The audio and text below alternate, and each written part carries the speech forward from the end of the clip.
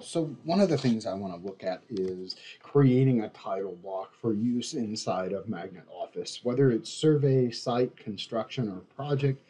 Uh, this procedure will allow us to uh, create deliverables for our customers. So what I did is I took a title block that was created in AutoCAD, converted all of these polylines to strings, selecting all the lines, and in the polyline menu saying convert to string. When prompted, if I want to use these in the uh, in the surface, I told it no because this is not for uh, surfaces. This is simply line work. So once I have the uh, title block drawn the way I want, I'm happy with what's here. What I want to do is in the library menu, I want to create a title block. Now this one is 24 by 36, so we're going to pick the architectural bead, 24 by 36.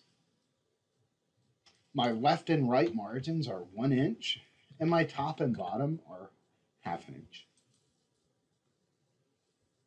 Okay, I'm going to snap to the lower left corner of the actual title block.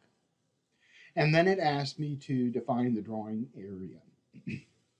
so for my drawing area, I'm going to go uh, from the lower left corner inside the title block to the upper right. You can make this smaller if you want, wish, you know, whatever makes sense uh, to you.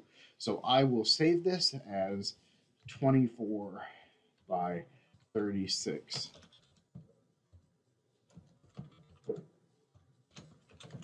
Topcon, and I'm going to use the XTB format.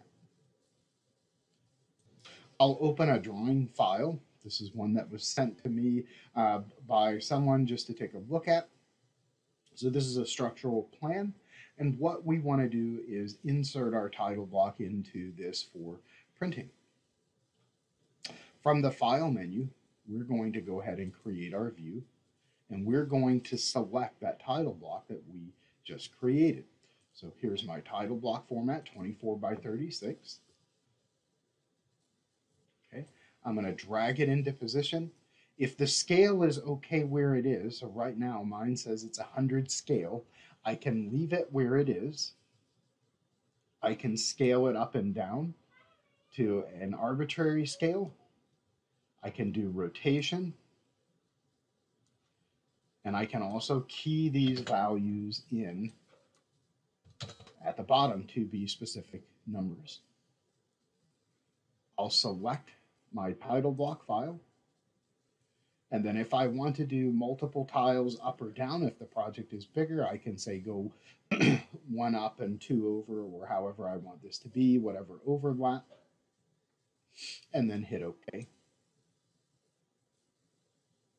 Now my title block is created. I've created uh, the drawing number one, 001, and now I can print this or save uh, or export this to other formats. So that's the quick overview of how you would create the title block inside of Magnet Office for creating finished drawings.